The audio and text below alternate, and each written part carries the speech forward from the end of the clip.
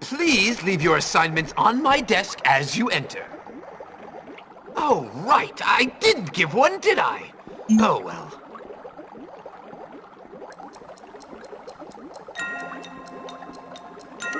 Hmm, very good. Carry on.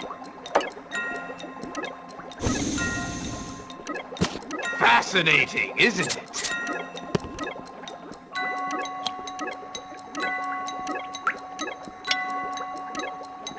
Job. Keep paying attention. You may have a future ahead of you, young man.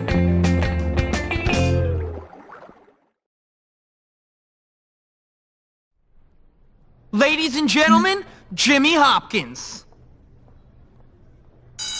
Done and done right.